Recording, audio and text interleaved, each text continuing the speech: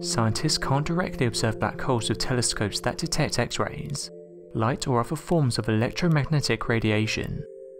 However, we can infer the presence of black holes and study them by detecting their effect on other matter nearby.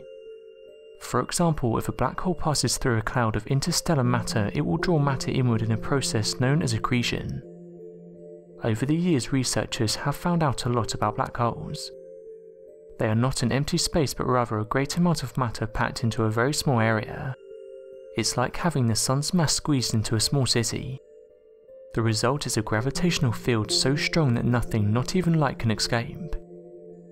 In recent years, NASA instruments have painted a new picture of these strange objects that are to many the most fascinating objects in space. Recently, scientists have discovered a black hole that is spinning at one of the highest speeds ever recorded. A black hole was spotted by AstroSat, India's first astronomy satellite in 2016.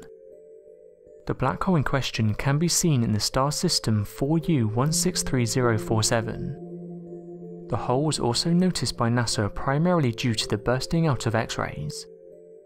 The researchers said the gas and dust finding its way into the black holes were causing the bursting out of X-rays that NASA and AstroSat observed. After observing its effects, it was announced the black hole has the size of roughly 10 times that of the Sun. This means it has a diameter of over 8,649,000 miles, or 13,919,216 kilometers. The X-rays also told the scientists and researchers that the black hole is spinning at a very rapid pace. NASA has gone forward and said that this black hole is spinning at a rate close to the maximum speed allowed that was determined by Albert Einstein in his theory of relativity.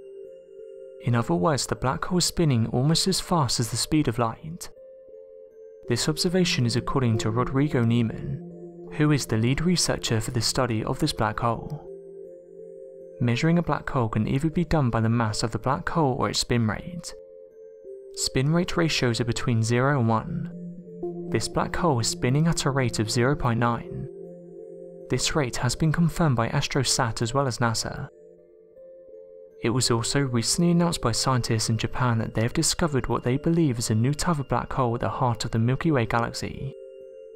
This giant black hole, which is believed to be 100,000 times the mass of the Sun, was discovered hidden within a giant cloud of molecular gas, and is the best evidence found of intermediate mass black holes.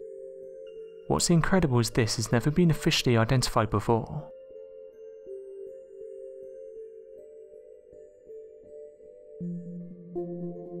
Thanks for watching and don't forget to subscribe for more videos.